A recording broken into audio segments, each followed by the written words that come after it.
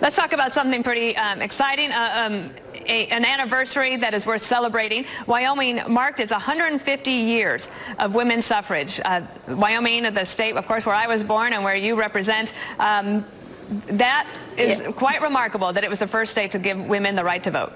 It's really a special thing. Today is the day. It was on December 10th, uh, 1869. Our territorial legislature uh, passed the, the act giving women the right to vote and to run for and hold office.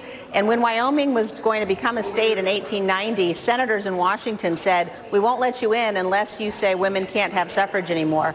And our legislators said, we'll stay out of the union for 100 years rather than come in without our women. So we're very proud of Wyoming as a trailblazer and as, as the first in the country to make sure women had the right to vote and run for office. Absolutely. And of course, my great-grandparents arrived in uh, Wyoming, I think, in 1888, so just before all of yep, that happened. Exactly. Right. Congress, yep. Congresswoman Liz Cheney, a pleasure to have you on the show. Thank you.